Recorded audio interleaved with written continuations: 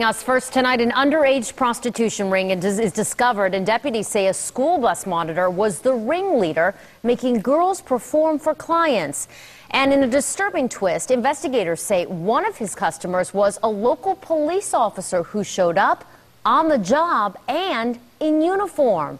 Uh, Rebecca Medina joins us now with how the pair was finally caught. Good evening, Rebecca.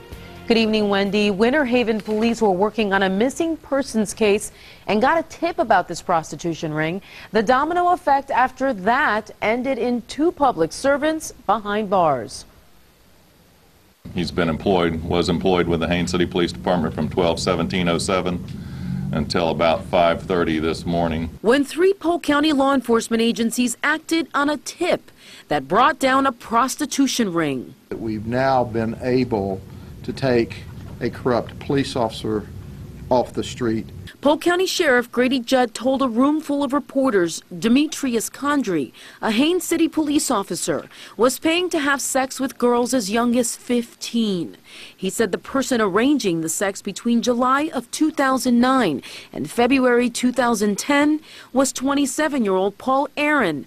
And get this, he was a Polk County school bus monitor. Paul was ordering for a 14 or 15 year old girl at the time, he was dealing with 14 and 15 year old girls who were turning tricks for him, ordered her to have sex with Demetrius. There are two underage victims so far, and investigators say they found a third girl Aaron attempted to recruit while working his bus route. The alleged pimp named his so-called business Genuine Quality Entertainment.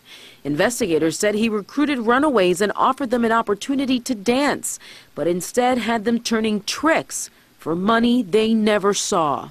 Paul Aaron made them stay at the house, fed them ramen noodles, wouldn't let them leave unless, of course, he was going to take them to a club to dance or to turn tricks. With men like Officer Condry.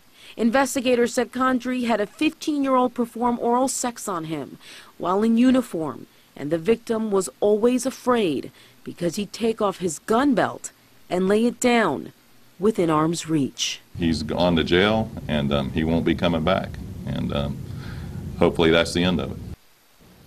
And this investigation is far from over. The sheriff said they expect more arrests and more charges here in the near future.